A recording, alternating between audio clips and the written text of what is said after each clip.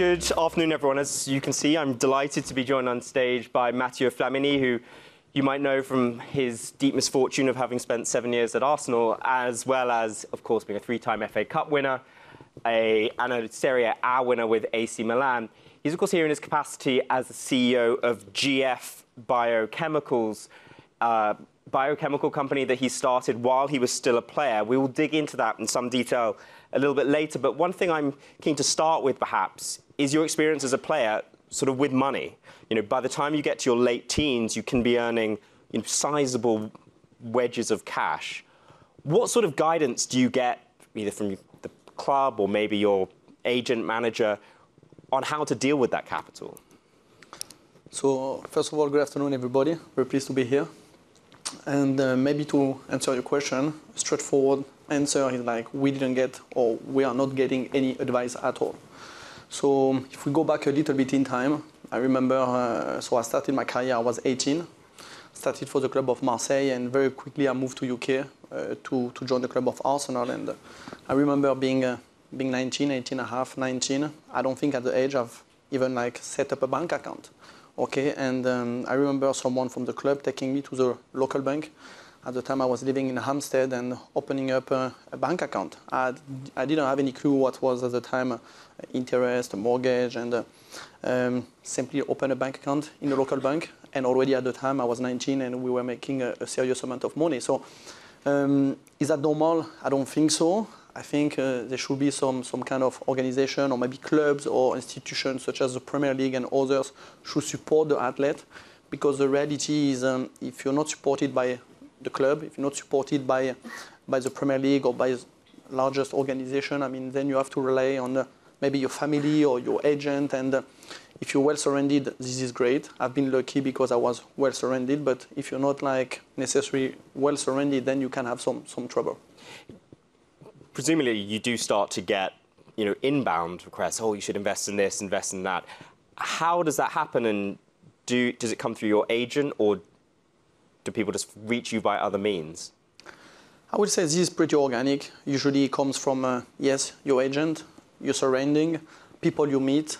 Uh, circumstances in life make you uh, sometimes meet uh, people and then you know you have a certain uh, affinity and uh, you develop you can develop a business or you can make some investment the reality is when you're an athlete, first, you don't have too much time to, to play around and to, to go around, I would say. And two, usually what you do is like you, you stay in your bubble, okay, because you're playing every three days. And uh, most of the time, I mean, everybody, people want a lot from you. So you stay in your bubble, and the, the, the few contact you, are with, uh, you have with the outside world is through your agent, through your friend, and maybe your family. So most of the investment opportunity you have, they come from those, uh, those, those entities. So again, what I was saying is like if you're well surrounded and you have people who do the job properly, then you can be successful.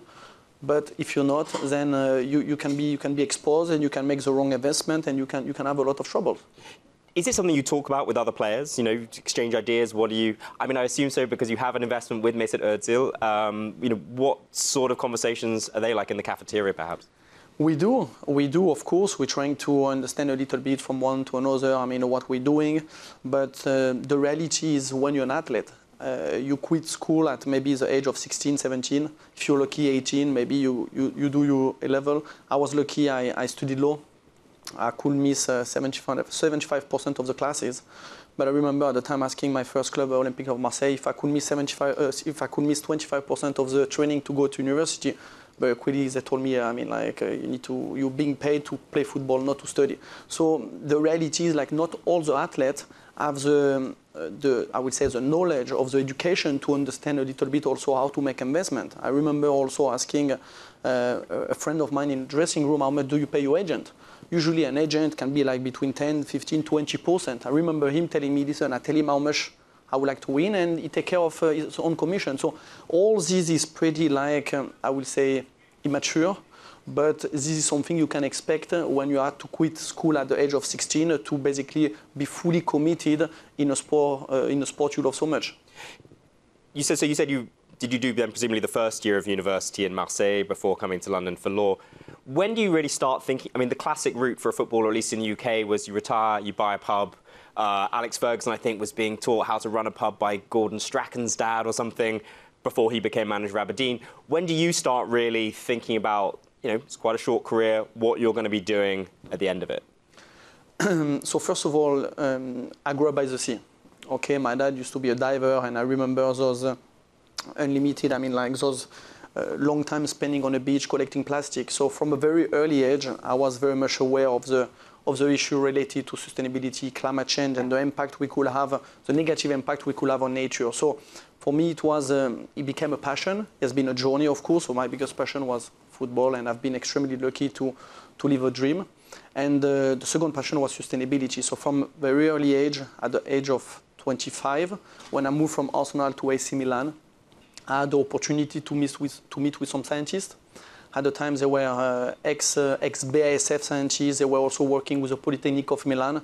And again, as I was saying, you know, circumstances, I met with the, uh, the other co-founder, I met with those, those scientists, and we decided to start a, a journey. And the journey was to very much um, join the effort to accelerate the transition from the petrochemical industry, meaning like the chemical product based on oil, to transition to a biochemical industry, which means starting from biomass. And uh, this has been a long journey because uh, they have forgot to tell me that bringing a new molecule to the market, it's a journey of 10 years. They're, if they would have told me, maybe I would have never started it. But uh, it's been uh, pretty interesting, I will say. And yes, you know, we speak between the athlete about investment and everybody is looking for answers and it's not always easy for them to, to find those answers.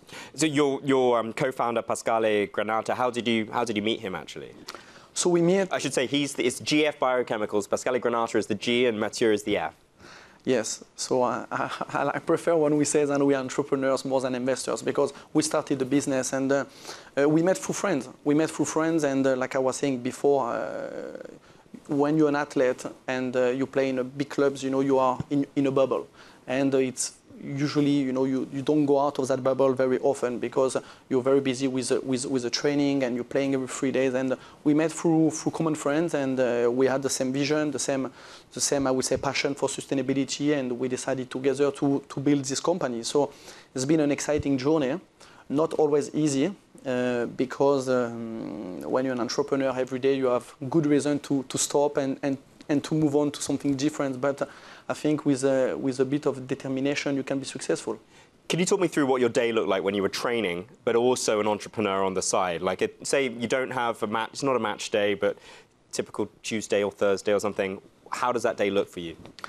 So, um, let's say you start the training, you meet generally around 9 o'clock. Um, then you, you get out on a pitch around 10 and then you have like two hours training outside so it's very intense focusing on uh, intensity and speed and then you, you come back and usually you have a gym and, uh, and probably some massage or, or, some stretching so as a, as a football player you can be home you, you back home around like 2.30 2.30 latest 3 o'clock so you still have enough time to challenge yourself to focus on a, a different passion, to focus on a, on, on, a different subject. And, and for me, it has been a bit of an escape. Because when you're an athlete, and probably like, like you guys in your work, you have some up, you have some down, and when you go back home, I mean, the last thing you want to do is to bring your problem home. So um, when I was playing, sometimes you were injured, sometimes you were not playing. So it was for me an escape. It was helping me to first change my mind and to challenge myself also intellectually. Does it, I mean, at that stage, because I assume, I don't want to make too many assumptions, they come to you because they're like, well, he has capital, right? He can help invest in this. Did they kind of get more than they bargained for? I mean, first, this is true. I was uh, investing the money I was making on a speech, on a pitch. I was investing it in that, in that, in that venture. But I think at the end, it's, uh, it's about like complementary. It's like um, in a team, everybody can bring different skills. So um, yes, I had some capital to invest. I hope I also brought different skills and just money. But um, as I was saying, I think everybody has different skill, and it's about like building a, comp- a complementary team. It's like uh, you know in a football team when you have uh, 11 players, if you put like 11 strikers, I mean I can guarantee you will not win the game. Are you uh, talking about Brazil here or no? Different team. Um, can we? Uh, maybe just explain what is levulinic acid. That is your main product. What is it? What does it do? What are its applications? So maybe let me tell you a little bit about the, the petrochemical industry. So today, the petrochemical industry is everywhere.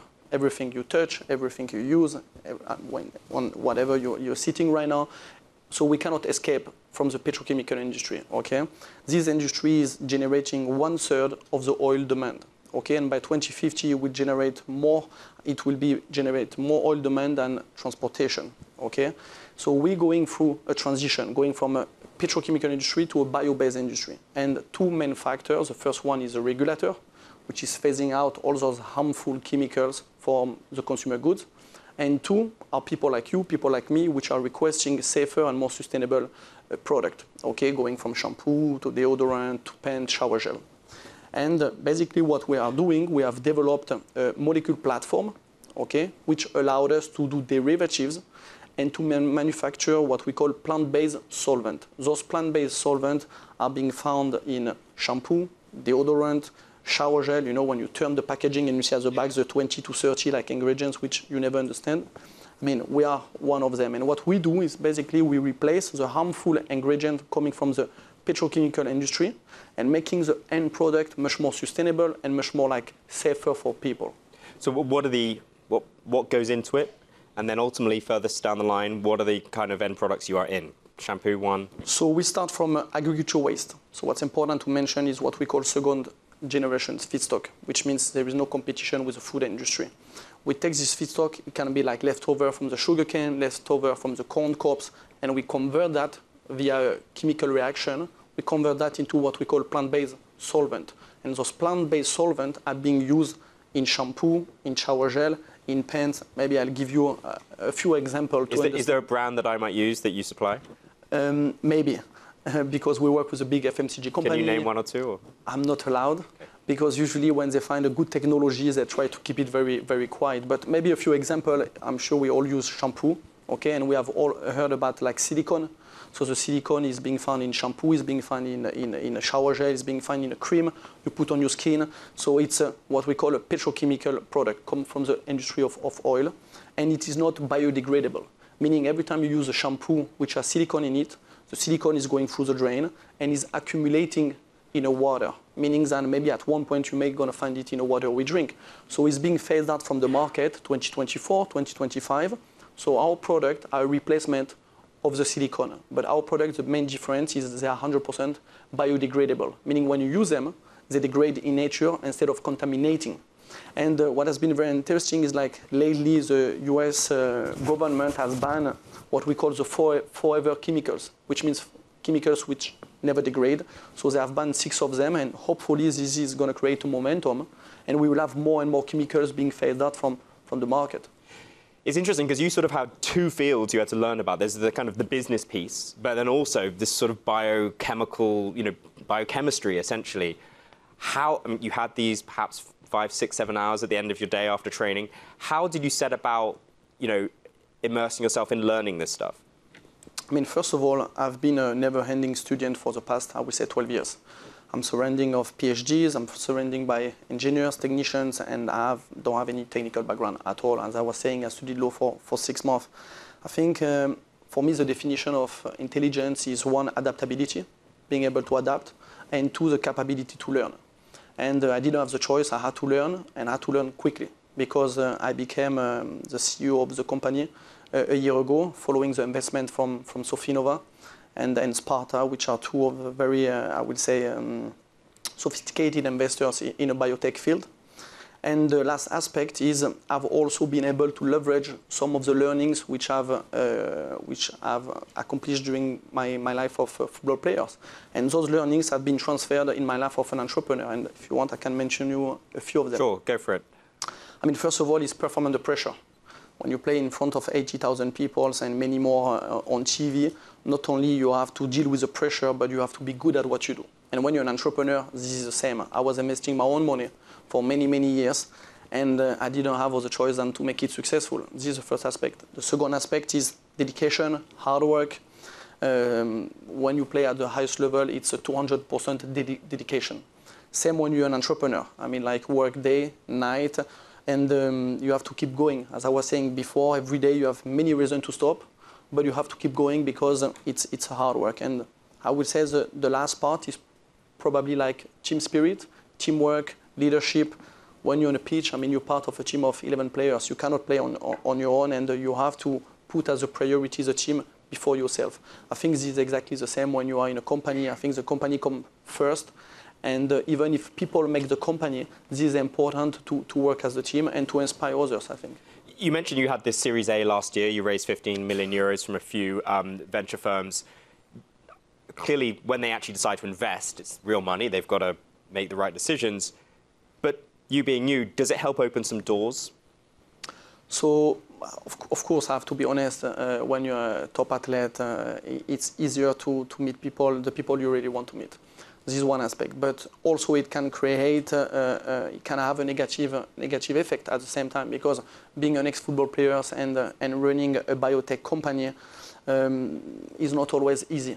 So we are not building an app or we're not building like a, a, website. We are in deep tech, meaning like hard capex, building a chemical plant. We're manufacturing in Asia. So um, when I when I was uh, in discussion with Sofinnova, which is I would say in Europe one of the most sophisticated investors in, in deep tech, um, being obviously like an ex-football player was not, I will say, uh, always easy to justify. And even when we had the discussion about like if I was going to run the company or not, I had to, um, I always believed I had to work harder than the others to justify my position, I will say.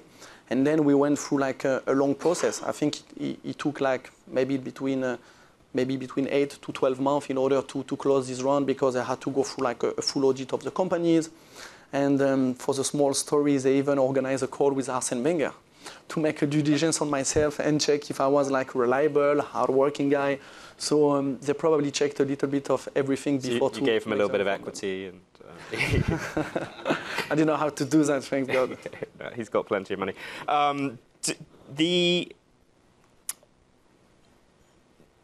the way that uh, you know your sort of post career now, there are a lot of players, presumably, particularly when you were a youth player, who you know, weren't as good as you, or at least didn't have the, your success what sort of things are they doing? You know, is it perhaps you know, players who were in, you know, Ligue 2, Championship, or, or a little bit lower, earning decent money but not incredible money. How, how is that path for them? Like, do they have to think even more carefully about their money, and is it harder? I think it's the same problem for, for every athlete. At the end of the day, of course, if you make more money, I mean, can be easier to, to address your after career, but let's not forget that when you play, uh, when you're an athlete, I mean, it's, it's, it's a short period of time. We talk about like 10, 15, 16, 17 years, you know, if you're lucky. I think I've played like 17, 18 years. But um, the hardest part is how to reinvent yourself. You know, imagine like you're a journalist, you have been doing that all your life, and from one day to another, we tell you you cannot do it anymore. You have to find something else to do. So, you know, this transition is not always easy because you have to first to reinvent yourself, and two, I mean, mentally, it's not. Uh, it's not always easy to find something else which you have something else to do which you have never done. This is why I mean most of the athletes I will say usually stay in in, in a world of, of, of, football. They become agents, they become managers, they become like uh, they work on TV because uh, it, it, it's challenging. It's challenging for someone to reinvent himself and, and find himself like a new purpose, a new mission, and to, to learn everything from scratch. Actually, that fundraise last year, can you talk a bit about the valuation? Was it tens of millions, hundreds of millions, higher, lower? I mean, we're a private company, so... Which is why I asked the question, otherwise I'd be able to see it on a stock market. Can you give a sense of the ballpark? I mean, let's say we have invested like tens of millions over the past uh, over the past decade. Uh, business is going well. We're having like agreement with large chemical company, large FMCG company. We're launching a new R&D facility in uh, Aix-en-Provence, in the south of France, which will very much focus on bringing the new product to the market, trying to again bring solutions to a problem. I mean, we all use consumer goods, and the idea is like to make them safer and more sustainable. So things are going well, and I'm also working closely with the French government because we have the intention to uh, develop. Um, I would say like a new facility potentially in Europe and, and France is is one of the uh, one of the country which we're exploring. It's a great ecosystem right now. One of the reasons I asked the question is I live in North London. and Plenty of Arsenal fans will say, "Oh, Mathieu Flamini is the richest post-retired athlete, richer than Jordan, richer than any of these guys." Do you think you are, or do you think you will be? I don't think I am, and uh, I don't think this is a priority right now. I mean, unfortunately, uh, sometimes in, in, in football, not all the journalists, I will say, have the the capability to understand like the business world. So sometimes when you don't take an interview, I mean, like it's difficult to control what is being written. But I'm pleased and today I'm, I'm sitting with journalists very knowledgeable and we understand the business world. I think there's somewhere in this room, if not on this stage. um, my very final question. Prospects, Arsenal this season, are they going to do it? this is a very good question. And uh, since I am a, an Arsenal fan, obviously I believe, I think they have brought back hope with Arsenal fan. We're all very proud again to be Arsenal fan. And, uh, and I want to believe that it is possible. I mean, so far we have been doing the, the right things. And uh, we know um, to win the Premier League, this is not a sprint, it's a marathon. We know we have uh, another couple of games ahead of us. So we have to stay focused and, and make sure we cross the line uh, first. Well, thank you so much, Mathieu, for joining us. Quick hand, hands together for him, Mathieu Flamini. Thank you very much.